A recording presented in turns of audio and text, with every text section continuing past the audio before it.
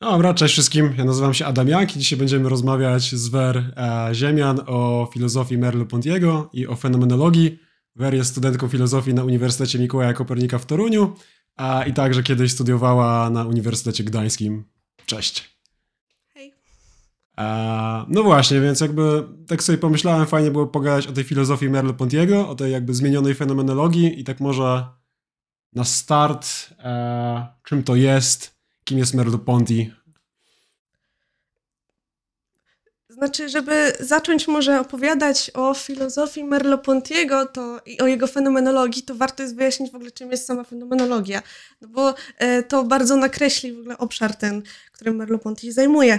I tutaj e, fenomenologia to jest projekt jeszcze stworzony przez Husserla, e, który, który jest tworzył go jako pewną metodę filozofowania, żeby dochodzić do, do prawdy. No bo Husserl napisał po prostu pismo o kryzysie nauk europejskich e, i szuk...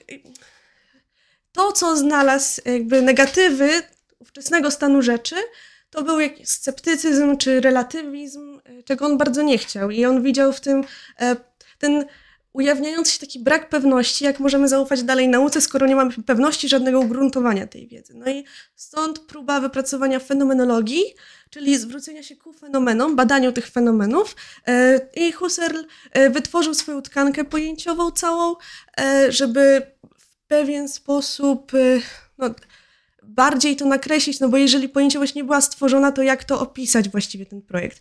Więc on się tym zajął.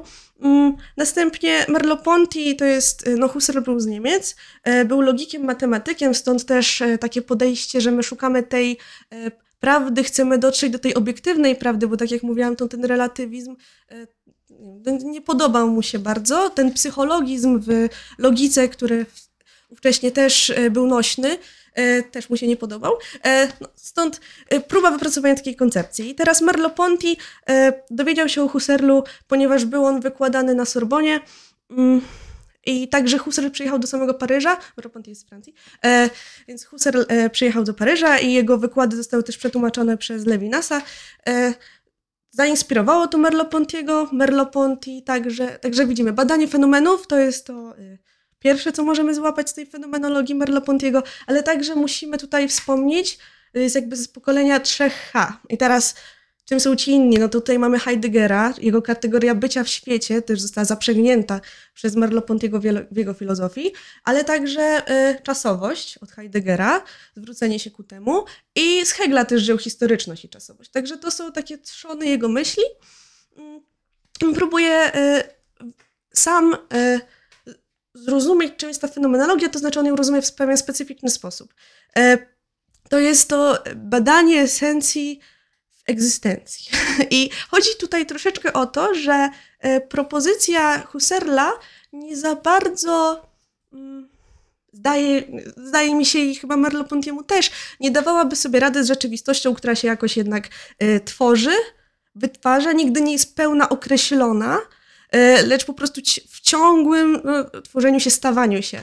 I jego projekt Merleau-Pontiego e, próbuje właśnie troszeczkę tak tak złapać, zrozumieć, jak byty się nam jawią poprzez wyjście z własnego doświadczenia. E, I to, w jaki sposób Merleau-Ponty pisze, mm, no on pisze krytykując przeciwstawne poglądy. E, więc, no tak zwykle filozofowie często to robią, e, więc on będzie krytykować takie podejścia obiektywistyczne, e, będzie krytykować e, podejścia.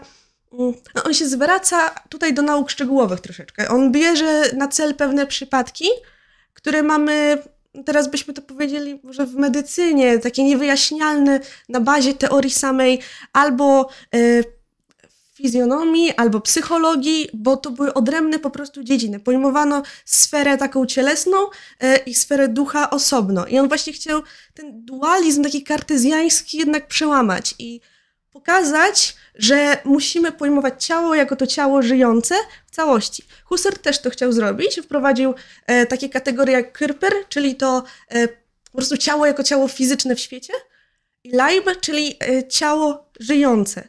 Tylko, że Husserl nie wydostał się z tego e, kartezjańskiego dualizmu przez to, że no właśnie zrobił to rozróżnienie i to ciało żyjące miało mieć, miało być jakby mm, nadbudowane nad tym Kyrper poprzez to, że jest tam jeszcze świadomość wciśnięta.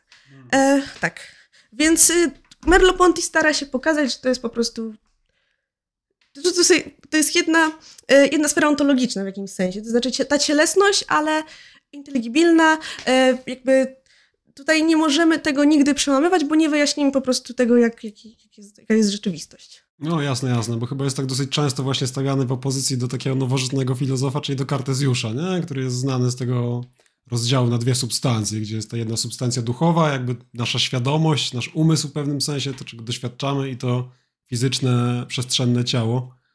A to filozofia Merleau-Ponty'ego jest jakaś taką polemiką z kartezjanizmem? Yy, tak, tak, no bardzo. Właściwie to jest yy, główna troszeczkę część, no bo próbuje to dualne, dualistyczne postrzeganie by to przełamać. I właśnie przez to, że yy, ten dualizm kartezjański tak bardzo wszedł w tę myśl, no to stąd mamy też podział ten nauk, który wtedy miał no, możemy zauważyć, tak jak mówię, psychologia, fizjonomia, osobno.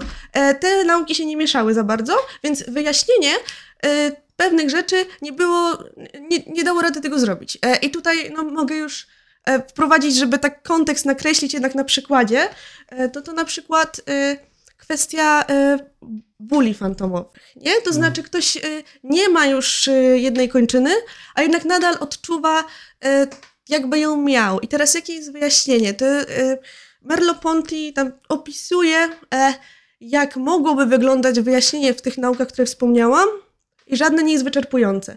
I wtedy on poprzez swoją fenomenologię percepcji, e, którą e, znaczy zaproponował nam na kartach e, tej książki, no, opisuje, że po prostu my musimy się postrzegać jako w pełni ten byt psychocielesny i nierozróżnialny na te dwie sfery e, i w tym momencie nie ma problemu, żeby opisać to, że ja czuję bóle w tej ręce. On, on to tak dramatycznie opisuje, to znaczy y, świadomość się wyrywa do tego, tam, takie mocne są epitety, ale no, chodzi o, o ten aspekt, że oto ja mogę tutaj wprowadzić właśnie ważny aspekt fenomenologii, to znaczy intencjonalność świadomości.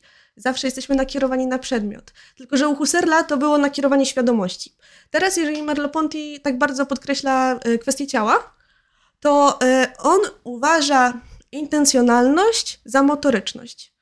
E, więc e, ta motoryczność, powiązanie z tym, że ja chcę sięgnąć po coś, osiągnąć jakiś cel, e, no, jest cielesne, tak? Czyli ja teraz nie mam tej ręki, ale chcę coś zrobić, więc jak odczuwam, jakbym miał tę rękę i zauważamy, że ten fenomen czucia tej ręki następuje.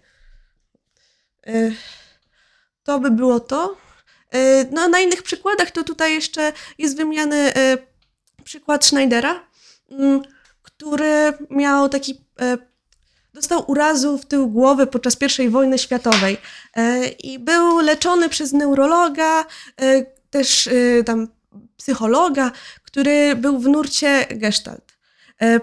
I tutaj takie podejście reprezentowane ja nie jestem w stanie powiedzieć, że to ściśle przez to, bo wydaje mi się, że jeszcze z kimś, jeszcze z jakąś szkołą e, był powiązany, znaczy pewną medyczną, gdzie po prostu był u lekarza, który przyjmował taką pewną filozofię swojej, swojej sztuki, że musimy spojrzeć na tę jednostkę w całości.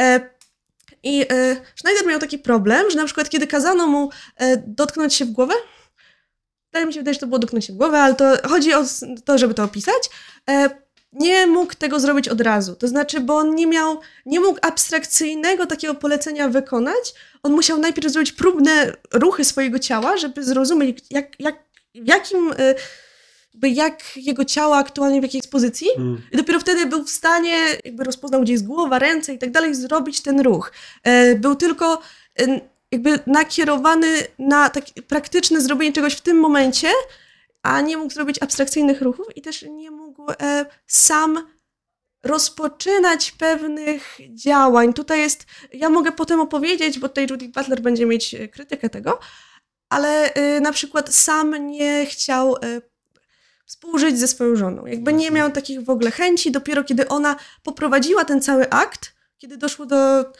orgazmu z jego strony, to już był koniec, bo już dalej jakby on sam do, do tego orgazmu nie dążył, tylko jak już się wydarzyło, to już dalej nic. E, to jest ciekawe. A, I Schneider to jest jakby taki ciekawy przypadek medyczny, którego, który opisuje Merleau-Ponty, tak? Tak, tak. E, właśnie jeden, żeby pokazać, e, że ta uraz fizyczny wpłynął na całokształt egzystencji Schneidera, jego taką pozycję wobec świata, też zewnętrznego, też właśnie takiej wolicjonalnej sferze. Bo tutaj przerwany został jakby takie wychodzenie w przyszłość. No, coś. E, więc, więc to, to, to był taki przypadek, żeby właśnie ukazać, no, jasne, jak to się wszystko przebija, i nie możemy wyjaśnić tego przypadku na bazie tylko jednej z e, teorii. Główna książka Merleau-Ponty'ego to jest Fenomenologia percepcji. Tak, tak. I może jeszcze byśmy sobie coś powiedzieli, czym jest percepcja, jak on to rozumie. E, no, percepcja byłaby związana z postrzeganiem. To, to, to tutaj o to chodzi, e, o to, jak możemy postrzegać przedmioty, jak one się nam jawią. E, dlatego w tym właśnie rozdziale dotyczącym ciała jako byt płciowy Merleau-Ponty stara się pokazać, że dobrze, wyjdźmy od tego, jak przedmioty mogą się nam jawić no, w taki też erotyczny sposób, w ten sposób opisać to i zobaczymy, jak przedmioty mogą się nam jawić w ogóle. To jakby to jest, to, to nie jest y, rozdział, w którym on opisze płciowość, na taki projekt fenomenologiczny, jak możemy ją opisać, czy seksualność, to raczej chodzi nadal o to postrzeganie przedmiotu, y, o konstytuowanie go, y, o nasz stosunek do tego przedmiotu, jak my z nimi jesteśmy związani, jak on też wpływa na nas. W sumie konstytuowanie to jest takie dosyć tajemnicze słowo, które się pojawia w fenomenologii. E, myślę, że też dosyć kontrowersyjne, ale gdyby się tak dało, nie wiem, w prostych słowach opisać, o co z tym chodzi? O, to jest zawsze ciężko, nie? Bo jak się czyta książkę, to to jakoś tak wchodzi naturalnie, co to jest, ale stanowić o czymś, to można tak najkrócej, tylko teraz to naświetlmy. E, mamy świadomość, która postrzega przedmiot, pojmuje go i jakby przez swoje też y, jakby też trochę władze poznawcze, ale chodzi o tutaj, że jest nakierowane na niego, mhm. próbuje go pojąć i to chyba to słowo y, pojąć jest takie tutaj, myślę, kluczowe. Nie wiem, dla mnie, dla mnie to już świta taka lampka, że ja chyba rozumiem, co chodzi. Konstytuuję ten przedmiot, bo jakoś go tak y, wpływ na niego, wyłapuję go tak, no, tak stanowię o nim. Świadomość. No.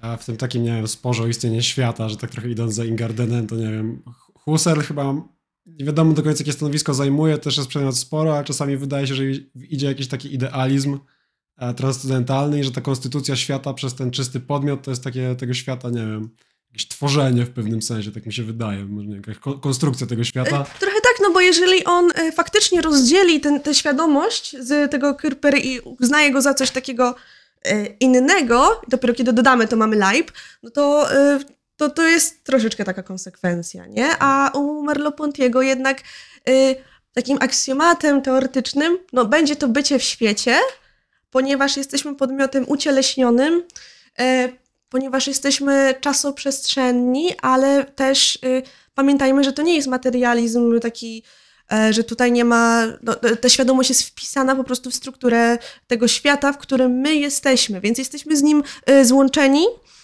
tutaj ciężko, znaczy Merleau-Ponty e, nie, właśnie przez to, że on się mm, wy, znaczy stara się obalić ten dualizm, to on nie może powiedzieć, że świadomość jest totalnie odłączona od tego świata. Nie, ona też y, jakby świat dookoła wpływa na tę świadomość, no bo to musi, to jest takie monistyczne podejście, więc y, nie ma tego wyodrębnienia, ten świat istnieje, to jest na pewno. E, no i e, właśnie kwestia tej historyczności czy czasowości, on tu rzutuje na to, że jednak nie możemy mówić o jakimś takim wyrwanym ze świata czymś, tylko jednak tutaj konstytuuje się i jakby y, samo też staje się na podmiotowość, jakby non-stop jest w ruchu, to znaczy świat właśnie, tak jak mówiłam, nie jest nigdy dookreślony, ponieważ no tutaj wchodzi ta temat wolności, załóżmy, nie? No to nie ma zdeterminowania świata, ponieważ my działamy na świat, no, mamy tę motoryczność, intencjonalność osiągnięcia czegoś, zrobienia czegoś. E, nie jest tak, że mamy to zdeterminowanie, czyli ja teraz e, muszę dokończyć to zdanie, bo świat jest tak zdeterminowany, bo tu przyszłam, zaczęłam to mówić, nie? E, ja mam zawsze wolność wobec tego, w jakiej sytuacji też jestem teraz. Czyli trochę ograniczona, no bo jesteśmy cieleśni, tak? Ale jednak ta cielesność też daje nam możliwości. To trochę brzmi jak taka współczesna koncepcja z filozofii, jak poznanie ucieleśnione. E, jest jakiś związek między tymi dwoma, między Merleau-Pontim, a tym bardziej współczesnymi dyskusjami o poznaniu tak. ucieleśnionym? Tak, e, to jest prekursor myślenia ucieleśnionego. E, jak na kognitywistyce, czy szuka, słucham jakichś wykładów kognitywistycznych, no to wtedy mm, jak powiem, że się interesuje Merleau-Pontim, to dużo osób jest jak, wow, Merleau-Ponty, u nas się o nim mówi. Bo tak, bo mamy teorię, no Kognitywistyka trochę tak powstała mniej więcej, kiedy powstawały takie komputery pierwsze. To znaczy wtedy pomyślano, umysł jest jak komputer. E, I to jest takie kartezjańskie podejście. Mamy ciało i mamy umysł, który mm, nie jest cielesny, jakby jest różnie opisywany funkcjonalnie i tak dalej, ale to nadal e, jest, to nie jest cielesne. I to jakby tutaj e, wynikło w naukach, a potem nagle, znaczy nagle, no nauki e, kognitywistyczne dotarły też, znaczy Merleau-Ponty był pewną inspiracją dla badaczy, e, no i uznano, że bardziej może adekwatnym podejściem jest to ucieleśnione, to znaczy postrzegajmy ten umysł jako w świecie, a nie coś oderwanego. I tutaj y, do tych komputacyjnych, czyli umysł jest jak komputer, to jeszcze można dodać konekcjonistyczne i tutaj ludzie będą się odwoływać do tego, że mózg to jest, no mamy sieć, neuron, sieci neuronalne, więc on dostaje jakieś y, informacje, w sieciach się coś dzieje i mamy wynik. No a y, to takie podejście ucieleśnione, to będzie zwracało uwagę na całość po prostu. Y, do, też do tej egzystencji całości tej jednostki, która jest w świecie. E, tak. No tak, tak. I też że chyba, że sporo naszych pojęć jest zapośredniczonych w cielesności i też jakby w przestrzenności, więc nie wiem, wyobrażamy sobie, że na przykład to, co złe na dole, to, co dobre na górze, tego... No tak, Lakoff i Johnson, prawda? Metafory w naszym życiu, to też oni opisali bardzo. Mm, no ale... Mm, y, ich książka to jest, znaczy pomysł rzucony, prawda, że my budujemy te pojęcia w ten sposób, bo właśnie z naszego ucieleśnienia jednak pamiętajmy, że e, oni, oni podają dużo przykładów, prawda, e, żeby to uzasadnić, ale pamiętajmy, że to nie jest też zdeterminowane w ten sposób. To znaczy, moglibyśmy napisać swoją książkę i zrobić zupełnie inne, inaczej uzasadnić i znaleźć przykłady, które będą temu odpowiadać, prawda? Więc tak, ja też uważam, że język wynika z tego ucieleśnienia. Też są jakieś też badania dotyczące tego, że my nawet liczby pojmujemy często jednak w sposób trochę ucieleśniony, też na osi. Język wynika, to może być duża teza, na pewno jakoś częściowo wynika z cielesności, nie? Czy tam w całości to, nie wiem, jakby du du dużo powiedziane. Eee, dobra, a może jeszcze taki wątek, bo to się już w sumie pojawiło już, jak powiedziałaś o Judith Butler, to może jeszcze pójdźmy trochę w tym kierunku. Eee, też się zajmowałaś ostatnio Merleau-Pontim jakby na, na konferencji naukowej? E, tak, dzisiaj. Dzisiaj, dzisiaj. miałam o, no konferencję. No Tylko e, ja bym nie chciała tego bardzo pomieszać, ale mhm. e, tak, bo e, w głównych współczesnych zagadnieniach fenomenologii jakaś tak, tak ta książka jest potężna. E, zawarto w fenomenologii feministycznej rozdział Judith Butler, która krytykuje e, jakby właśnie te, taką teorię seksualności Merleau-Pontiego, to jak on ją przedstawił. E, no i jej wnioski są takie, że e, feministyczna teoria e, fenomenolożek powinna rozwinąć ten temat na gruncie fenomenologii, to znaczy i przeformułować to. Tylko, że to, jakie ona argumenty podaje, to mogę wymienić takie trzy. Pierwsza jest taka, że Merleau-Ponty nie do końca opisał to, jak ten podmiot płciowy jest w jakimś stopniu no, kreowany przez sytuację historyczną. Tego nie rozwinął, ale mm, tutaj, no, no tak, zasadne, nie zrobił tego. I y, rozdział, który się nazywa Ciało jako byt płciowy, de facto tego w ogóle nie, nie porusza. E, kwestii płciowości, takiej samej w sobie, jeżeli można tak w ogóle powiedzieć, e, nie skupia się na tym, tylko skupia się na czymś innym, czyli tym przejściu, jak my postrzegamy przedmioty, jak one istnieją dla nas, no bo tutaj mamy też no, ten świat na zewnątrz, który też na nas wpływa jakoś. E, więc tak, tutaj się zgadzam, można było to rozwinąć. E, drugi e, to jest właśnie przykład Schneidera i to dlatego, że Merleau-Ponty używa tutaj słów takich jak, że nienormalnym jest jego zachowanie. tylko, że jego, znaczy zostało tak opisane jako nienormalne, ponieważ to był przypadek, prawdziwy przypadek tego człowieka, który był wcześniej, no był heteroseksualny, miał żonę i z chęcią przystępował do stosunków. Więc jeżeli po urazie nie, nie przystępuje już chętnie i mówi, że przeszkadza mu to, że taką ma teraz sytuację po tym e, urazie, że znaczy przeszkadza. No właśnie on w ogóle nie czuje tego pociągu, on no, nie czuje się dobrze, to dlatego to słowo nienormalne wystąpiło. Jednak e, no, ja się zgadzam, że powinniśmy szukać takich tropów, które by narzucały taki heteronormatywny punkt widzenia, bo tego się dużo przewija w e, filozofii, jak się czyta filozofów, prawda? Przecież tam występują często tak, tak seksistowskie teksty, rasistowskie, klasistowskie, no po prostu straszne rzeczy czasem można wyczytać u filozofów, których zdawałoby się, że można polubić, e, bo tak ładnie piszą o życiu, istnieniu, ale, mm, ale u Merleau-Ponty'ego tutaj się nie zgadzam, mm, bo jasno jest zarysowana sytuacja, że to jest w kontekście do stanu wcześniejszego. E, e, tutaj tutaj jeszcze no, takie podejście było, że Butler powiedziała coś w stylu, że w sumie Schneider może być uznawany za bardziej feministę, ponieważ on nie postrzega kobiety jako obiektu. Mm. Um, tylko, że on w ogóle jej nie rozpoznaje jako obiektu, który ma jakąś istotę, kompletnie. Tam był przykład, że pokazują mu długopis i teraz co to jest? I on musi to sobie opisać, czyli jest srebrne, e, jest taki podłużne, jest małe i dopiero na tej zasadzie dojdzie do tego, że to jest długopis. Podobnie e, jak rozróżnia ludzi od samochodów na ulicy, no ludzie są zwykle wąscy, wyżsi e, i jak w taki sposób on rozpoznaje obiekty, prawda? Kiedy on rozpoznaje kobietę, to właśnie po tym, że ma troszeczkę inną budowę ciała i on to sobie podpasuje pod kobietę, ale on nie jest w stanie tak jakby spojrzeć na przedmiot i go ująć w sposób, jak on mu się po prostu jawi, czym on jest, tak od razu. To... Więc y, tutaj akurat Merleau-Ponty sam napisał, że właśnie y, tutaj użył tego słowa normalny człowiek, ale mm, ja mogę ci wyjąć dokładny cytat, jeżeli chcesz poczekać, y, wtedy, żeby tego nie zniszczyć, co on dokładnie powiedział, ale no tak teraz roboczo możemy zrobić, bo tak, tak jestem prawie pewna, że to jest to. Normalny człowiek nie patrzy na drugiego jak na obiekt. Dosłownie to jest napisane. Ale jeszcze trzeci ci podrzucę. Znaczy, jak uważasz z tym cytatem, nie? Może, może go poszukać. No dobra. Krótką przerwę i tak wytniemy, więc to nie jest problem. E, jestem także sam Merleau-Ponty pisze, że człowiek normalny, i tutaj użył tego słowa, nie postrzega czyjegoś ciała jako zwykłego przedmiotu.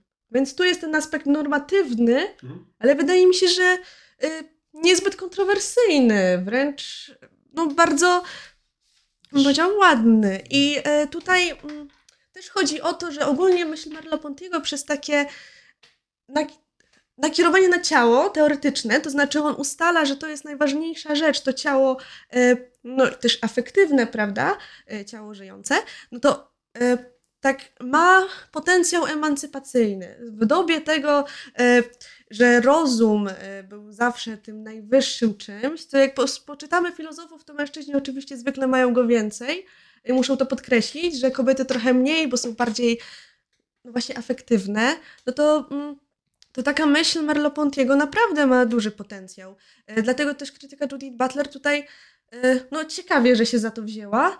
E, no. Dodatkowo przy przykładzie Schneidera jest mowa o tym, że tutaj ten męski podmiot jest opisany jako ten oglądający, a żeński jako bierne ciało do oglądania. Tylko, że no, tak jak mówiłam, mamy, to jest, to jest przykład heteroseksualnego mężczyzny, który właśnie był zainteresowany kobietami. Więc no, tak wygląda ten opis wedle tego mężczyzny, który wcześniej to przeżywał. Więc on był tym oglądającym, no a kobieta była oglądana. E, w tym przykładzie mamy też nacisk na e, zmysł wzroku, a jednak e, to też badaczki feministyczne odnajdują w tym zmyśle wzroku jednak znowu taki coś, co przysługuje mężczyznom. To znaczy, ja teraz dokładnie się na ten temat nie rozpowiem, ale jest taki wątek, a tutaj znowu, dlaczego nacisnąmy na, na, na zmysł wzroku był? No bo Schneider tak opowiadał. Więc to też stąd wynika. Y, To chodzi o to takie męskie spojrzenie, tak? Które jest właśnie takie jakieś uprzedmi- uprzedmiotawiające. Tak, tak, ale też wydaje mi się, że to może mieć związek z takim podejściem, że mm, to oko było uważane za taki główny zmysł, który po prostu ogarnia sytuację, ono widzi, ale jest też wyodrębnione. To znaczy, ja nie jest. To, to jest to też odcieleśnienie, które w oku być może w takiej metaforze oka się przejawia dla. Y, y, w takim metaforycznym sensie. Y, nie wiem, który filozof teraz. Y, może Wittgenstein, nie chcę teraz y, tutaj zakręcić, ale któryś powiedział, że właśnie oko w pewien sposób cię y, izoluje od tego, co na zewnątrz, bo dostajesz sam obraz. Jakiś taki, nie chcę teraz zakręcić, ale to, to też by w tę stronę mogło iść, tak mi się wydaje. Trzecia rzecz, która podeszła pod krytykę, mm, no to to jest taka e, opisana przy przykładzie tej seksualności i tego, jak te przedmioty, przedmioty, czy no właśnie inni ludzie, na podmioty się nam jawią, e, no to tak e, metafora pana i niewolnika. E, I tutaj Judith Butler uznała, że ta metafora jest takim wyrazem dominacji między płciami, szczególnie, że znowu mieliśmy takie, no, no mieliśmy przykład mężczyzny, prawda? Więc tutaj Butler komentowała ten metaforyczny język polegający na formie zniewolenia. No, ogólnie z, z jednej strony się zgadzam, to znaczy być może lepiej by było opisać przy fenomenie mm, wspólnego zbliżenia jakiś, czy takiego kontaktu erotycznego pewnego, y, opisać to w sposób, który nie będzie mieć takich naleciałości. To znaczy my się otwieramy na siebie nawzajem, to by było piękniejsze, y, ład, ładniej opisać to właśnie w pewien sposób czasem magiczne zbliżenia. No jednakże tutaj, mm, tutaj chodzi o coś innego, to znaczy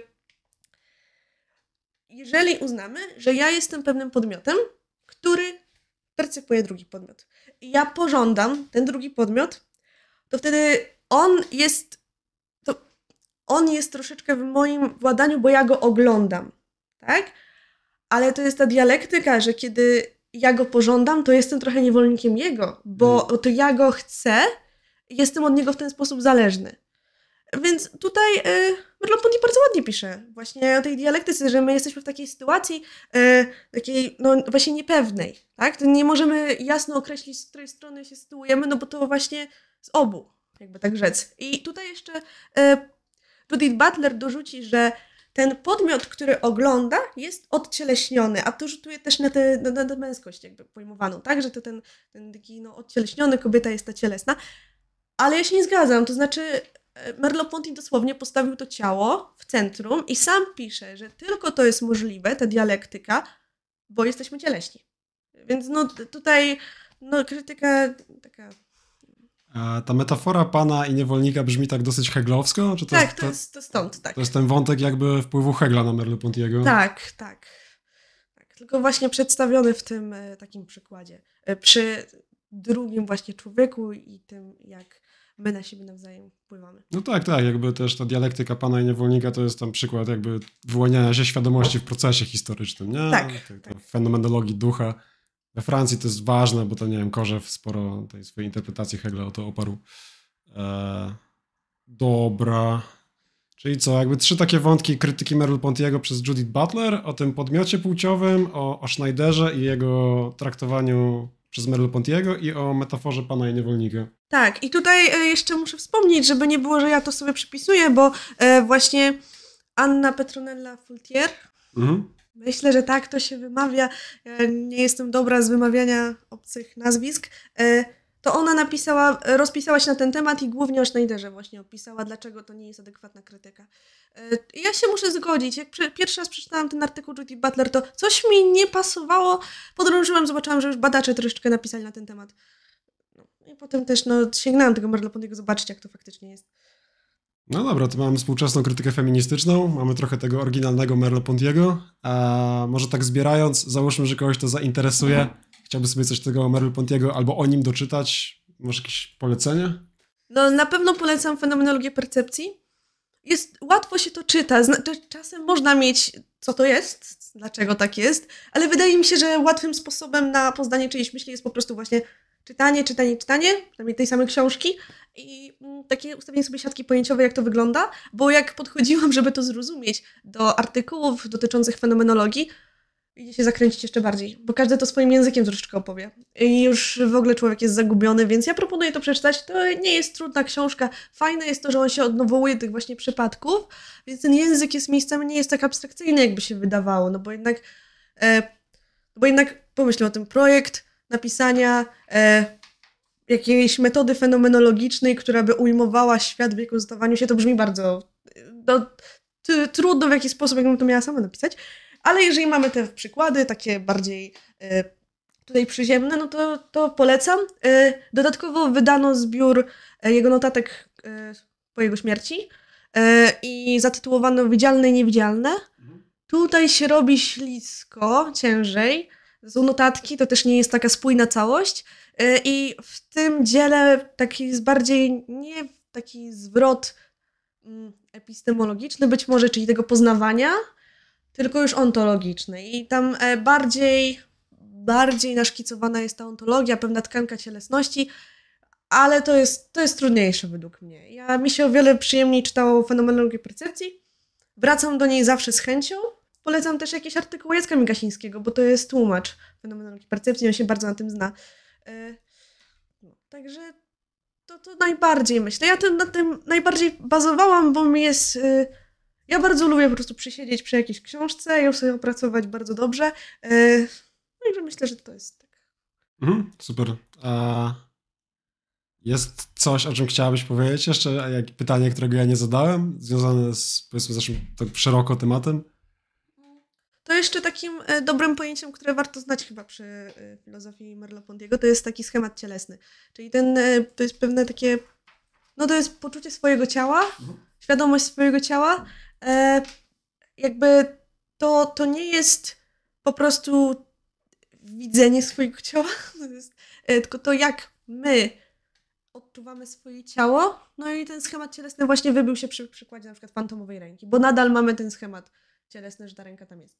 E, nie wiem, czy coś, coś jeszcze takiego kluczowego dla Jeszcze z takich pytań może, e, bo czasami jest ta teoria tego szóstego zmysłu, nie? Propriocepcji, czy jakby poczucia własnego ciała w przestrzeni, też takiego czucia wewnętrznego, to ma jakiś... No to myślę, że to by się troszeczkę tutaj mogło zespolić. Ja, ja aż tak w tym nie jestem. Ja wiem troszkę o czym mówisz, e, ale bałabym się, że jak powiem, że to jest, to by było coś mocno, to to by, to by złamało troszeczkę. E, to raczej, znaczy, na- one na pewno nie są tożsame, nie? Nie, nie, mogą, nie. Mogą, mieć, mogą być jakoś związane, tak mi się wydaje, a Merleau-Ponty prawdopodobnie nie znał tego pojęcia, bo ono się pojawia dosyć późno, tak mi się wydaje, w nauce takiej Tak, tak. biologicznej. Zawsze jak y, się tak próbuje.